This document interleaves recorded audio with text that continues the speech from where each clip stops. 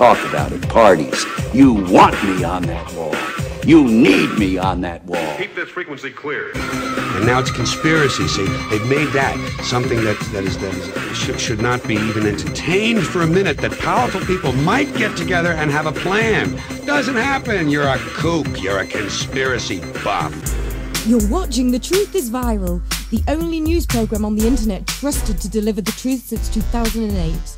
America has heard many accounts of what happened. We've never heard accounts from a single person who was in Libya that night. You will be the first person who observed it. In your own words, take as much time as you want. Please take us through the day of September 11th from whatever time you want to begin through when you first heard from Ambassador Stevens and through the hours and days uh, immediately following that, if you would, so we could have an understanding for the first time from somebody who was there. Thank you, Mr. Chairman. Uh, as, as I remember September 11, 2012, it was a routine day at our embassy. And until we saw the news about Cairo, and I remember sending a text message to Ambassador Stevens saying, Chris, are you aware of what's going on in Cairo? And he said, no. Uh, so I told him that the embassy, in another text, that the embassy had been stormed and they were trying to tear down our flag. And he said, thanks very much. And, you know, then I went on with, uh, with, with business.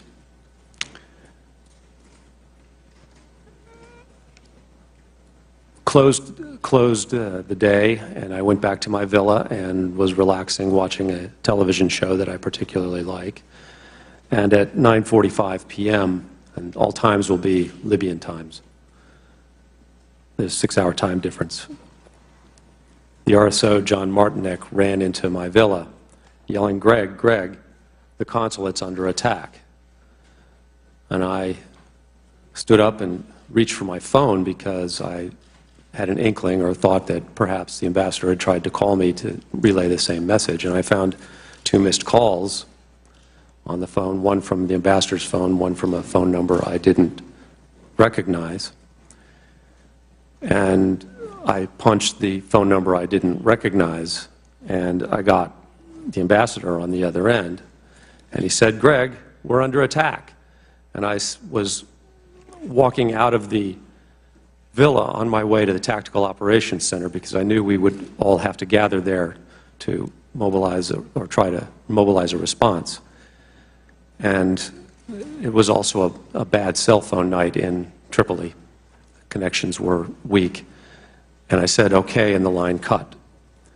As I walked to the Tactical Operations Center, I tried to reach back on both of the numbers, the unknown number and the ambassador's personal number and got no response. When I got to the Tactical Operations Center, I told people that the ambassador, that I just talked to the ambassador and what he said. Uh, at the time, John Martinec was on the phone with Alec Henderson in Benghazi, the RSO there. And uh, I asked one of our DS agents, who, what number did I reach Ambassador Stevens on? And he said, oh, that's Scott Wickland's telephone. Scott Wickland was Ambassador Stevens' agent in charge, his personal escort for that night, and was with him in the villa during the attack. So I asked, uh, when John Martinec got off the telephone, I asked him what was going on, and he said that the consulate had been breached and there were at least 20 uh, hostile individuals armed in the, in the compound at the time. So I next called the annex chief to ask him if he was in touch with the Benghazi annex to activate our emergency response plan. Please explain the annex chief so that people that don't know as much would understand that. No, go ahead, please. Okay, thank you. And he said that he had been in touch with the annex in Benghazi, and they said they were mobilizing a response team there to go to the to our facility and provide reinforcements and to repel the attack. With that knowledge, I called the operations center at the State Department at approximately 10 p.m. to uh, report the attack and what we were doing to respond to it.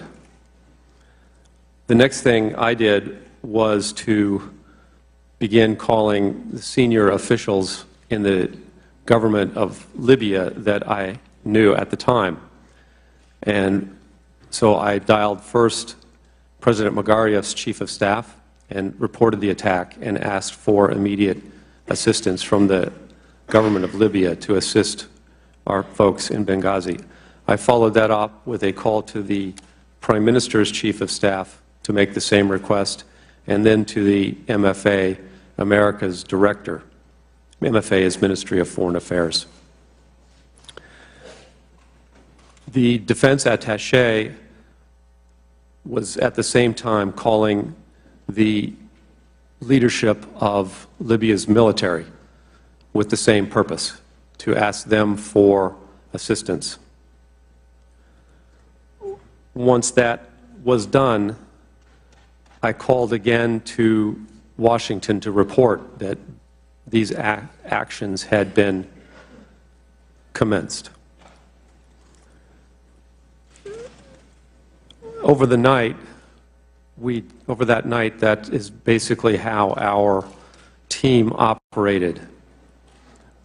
I was talking to the government of, Lib of Libya, reporting to the State, State Department through the Operations Center, and also staying in touch with the Annex Chief about what was going on.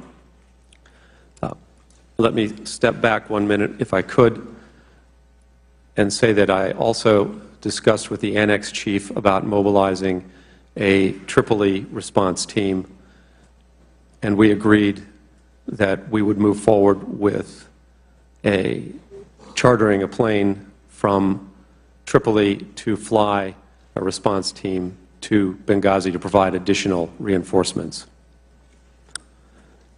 The defense attache was also reporting through his chain of command back to AFRICOM and to the Joint staff here in Washington about what was going on in the country. David McFarland, our political section chief, had just returned from Benghazi, where he had been our principal officer for the previous 10 days. And so he jumped into this picture by reaching out to his contacts in Benghazi and trying to get them at the local level there to respond to the attack. And he also was in touch with our local employee there as well. Excuse me if I yeah, check my notes here. It's a long. The attack unfolded in four phases, or the night unfolded in four phases. The first phase was the attack on our consulate. This story is well known, I think.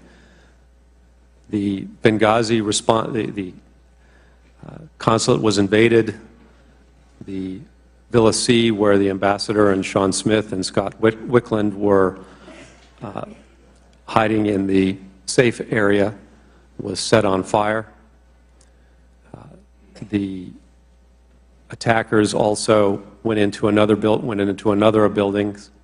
They were unable to enter the tactical operations center in Benghazi because of improvements to that facility that had been made. They Scott attempted to lead the ambassador and Sean Smith out of the burning building. He managed to make it out. Uh, he tried repeatedly to go back in to try to rescue Sean and the ambassador, but had to stop due to exposure to smoke. The response team from the annex in Benghazi, six individuals drove the attackers out of our compound and secured it temporarily. There have been estimates as high as 60 attackers were in the compound at one particular time.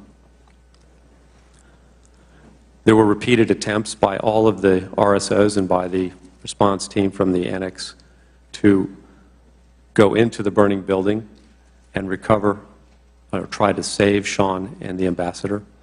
They found Sean's body and pulled it out, but he was no longer responsive. They did not find the ambassador. And I spoke with a medical officer, one of our medical officers after, after the attack, and the heroism of these individuals in repeatedly going into a petroleum-based fire cannot be understated. Petroleum, according to this, to our regional medical officer, petroleum-based fires emit enormous amounts of cyanide gas. And he told me that one full breath of that would incapacitate and kill a person if exposed to it. A second, it was, it was noticed that a second wave of attackers was coming to attack the facility, and our teams evacuated five RSOs and Sean Smith in one vehicle, which suffered heavy fire, but they managed to break through and get to the annex. And then the uh, annex team also withdrew from the facility, and the second wave of atta attackers took it over. After the, the second phase of the evening occurs, uh, the timing is about 11:30 or so. The second phase commences after the teams have returned to the annex, and they suffer for about an hour and a half probing attacks from uh, from terrorists. They are able to repulse them, and then they desist at about 1.30 in the morning. The Tripoli response team departs at about midnight and arrives at about 1.15 in Benghazi. If I may step back again to Tripoli and what's going on there at this point. At about 10:45 or 11 o'clock, we confer, and I asked the defense attaché who'd been talking with AFRICOM and with the Joint Staff, is anything coming? Will they be sending us any help? Is there something out there? And he answered that the nearest help was in Aviano, the nearest where there were fighter planes. They said that it would take two to three hours for them to get on site, but that there also were no tankers available for them to refuel. And I said, thank you very much. And we went on with our work.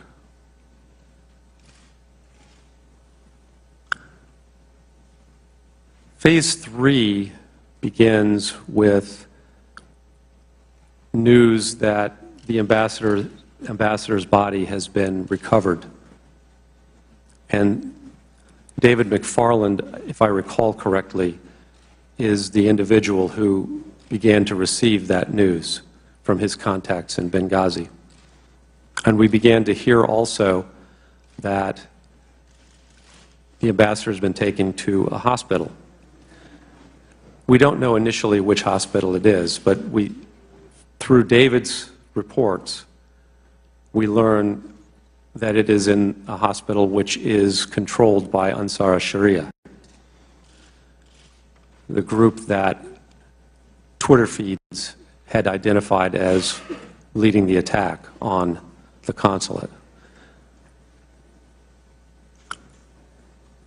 We're getting this information as the Tripoli response team arrives in Benghazi at the airport.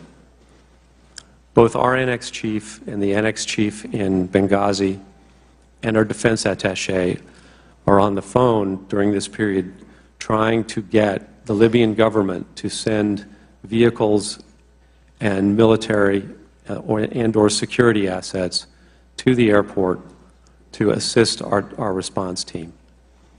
At this point, this response team looks like it may be a hostage rescue team, that they are going to, we, we are going to need to send them to try to save the ambassador, who is in a hospital that is, as far as we know, under enemy control. Our contacts with the government in Tripoli are telling us that the ambassador is in a safe place, but they imply that he is with us in, in the annex in Benghazi. And we keep telling them, no, the, he is not with us. We do not have his, we do not have him.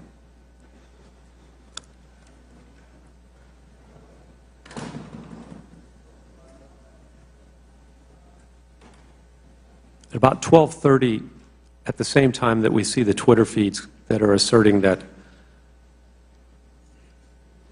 Ansar Sharia is responsible for the attack, we also see a call for an attack on the embassy in Tripoli. And so we begin to, we, we had always thought that we were in, under threat, but we now have to take care of ourselves and we begin planning to evacuate our facility.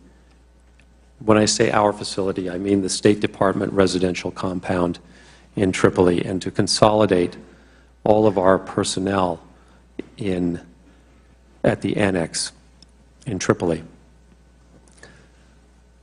We have about 55 diplomatic personnel in the two annexes. On that night, if I may go back, I would just like to point out that with Ambassador Stevens and Sean Smith in Benghazi, there are five diplomatic security agents, assistant re, uh, regional security officers. With us in, in our residential compound in Tripoli, we have the RSO John Martinec, three assistant regional security officers protecting 28 diplomatic personnel. In addition, we also have four Special Forces personnel who are part of the training mission.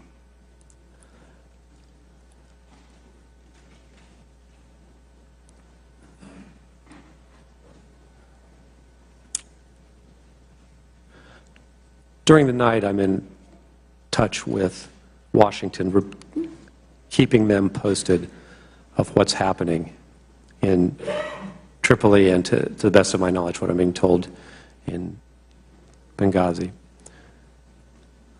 I think at about 2 p.m., the secret 2 a.m. Sorry, the secretary called, Secretary of State Clinton called me, along and along with her senior staff. We're all on the phone, and she asked me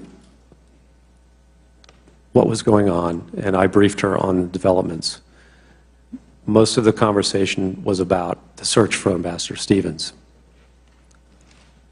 It was also about what we were going to do with our personnel in Benghazi. And I told her that we would need to evacuate. And that was the right, she said that was the right thing to do.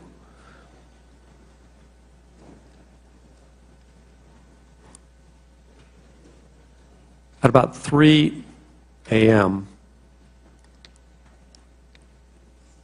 I received a call from the Prime Minister of Libya. I think it's the saddest phone call I've ever had in my life.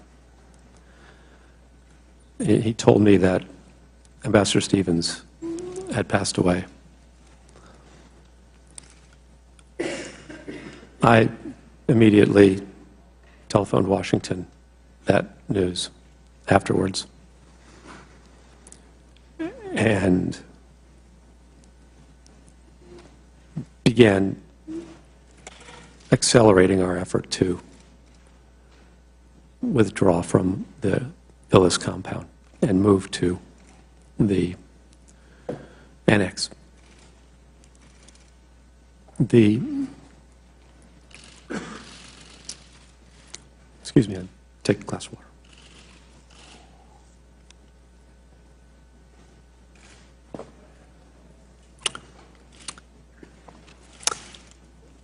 Our team responded with amazing discipline and courage in Tripoli in organizing our withdrawal. I have vivid memories of that. I think the most telling, though, was of our communications staff dismantling our, our, our communications equipment to take with us to the annex and destroying the classified communications capability. Our office manager, Amber Pickens, was everywhere that night, just throwing herself into some task that had to be done. First, she was taking a log of what we were doing.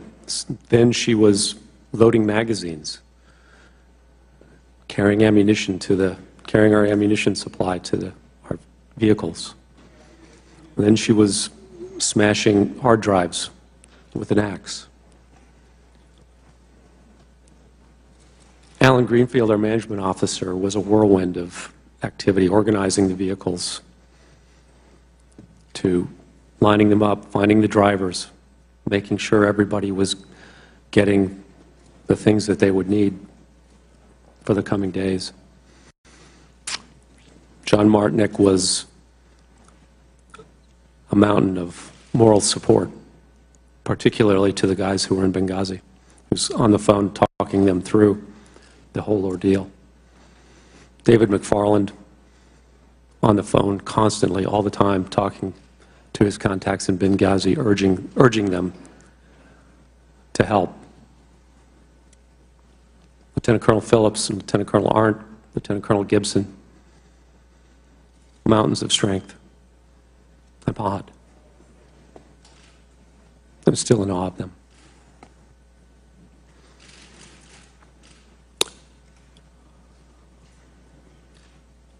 They asked me uh, in one of the phone calls, when were you going to move to the annex? And I said, we'll move at dawn. Because none of our people had great experience driving the armored Suburbans that we would, were going to have to use. Our local staff drove for us as part of our security procedures. They, of course, were not there that night. And we would have to go through checkpoints, militia checkpoints, on the way to the annex to get there.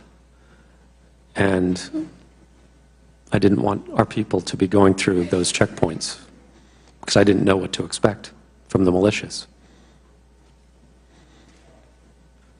And so we moved at dawn. And we arrived at the annex, at least my group, I think, at about 4:45, perhaps, maybe 5 a.m. And a few minutes later came the word of the mortar attack.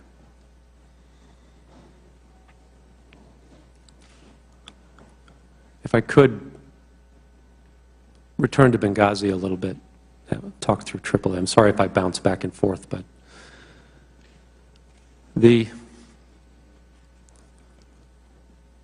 Tripoli team was basically had to stay at the Benghazi airport because they had no transport and no escort from the, the, the Libyans. After the announcement of Chris's passing, military escort and vehicles arrived at the airport.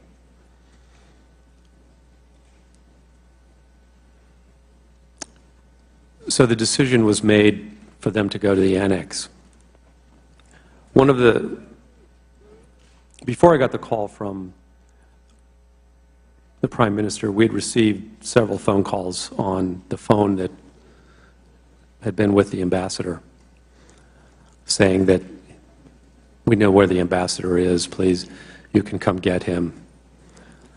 And our local staff engaged on those phone calls admirably, uh, asking very, very good, outstanding, even open-ended questions about where was he, trying to discern whether he was alive, would you let, whether they even had the ambassador, whether that person was with the ambassador. Send a picture. Could we talk to the ambassador? Because we knew separately from David that the ambassador was in a hospital that we believed was under Ansar Sharia's call, we, we suspected that we were being baited into a trap. And so we did not want to go send our people into an ambush.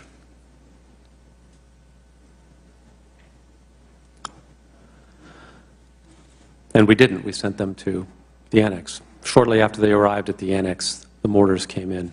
First mortar round was long. It landed actually among the Libyans who escorted our people. They took casualties for us that night. Then the, the next was short. The next three landed on the, on the roof, killing Glen and Tyrone, severely wounding David.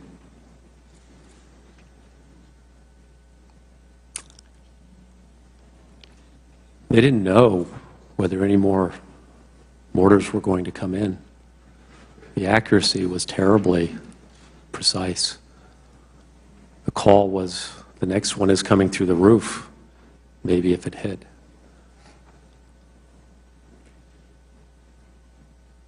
Two of the guys from Team Tripoli, they climbed up on the, the, the roof. They carried Glen's body and Tyrone's body down. One guy, about Mark's size, full combat gear, climbed up there, strapped David Ubben, who's a large man, to his back, carried him down the ladder, saved him.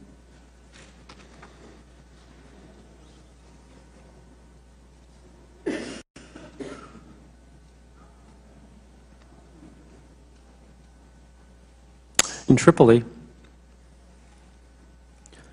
we had, the defense attache had persuaded the Libyans to fly their C-130 to Benghazi.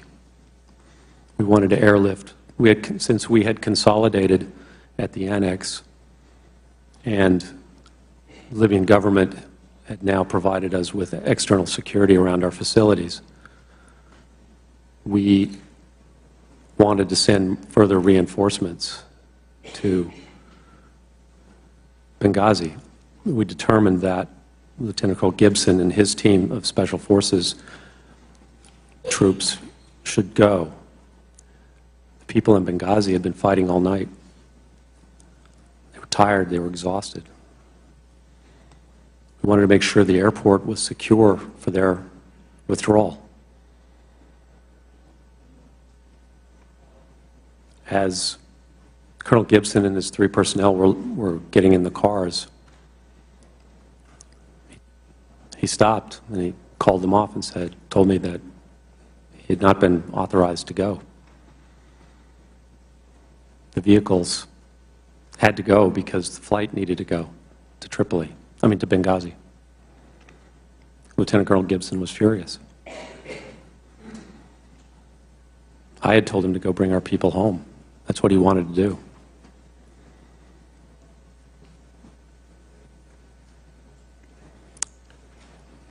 Paid me a very nice compliment. I won't repeat it here.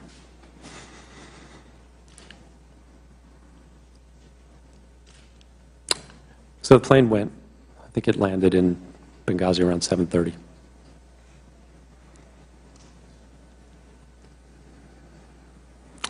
The other thing that we did was, and, and I want to mention Jackie Levesque's name in this hearing. She was our nurse. We'd initially thought that we would, that she should go to Benghazi. One of the uh, special forces with Lieutenant Colonel Gibson's team was, uh, was our last military-trained medic available. A broken foot in a cast. I still remember him walking around, walking to go and get in the car with his machine gun, carrying a machine gun on his shoulder.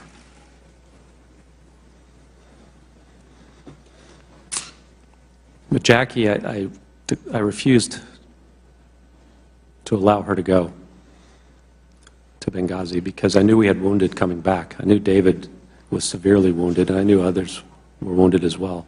And Jackie had just made uh, terrific contacts with a hospital in town. And so we sent, we sent her, I sent her to that hospital to start mobilizing their ER teams and their doctors to receive our wounded.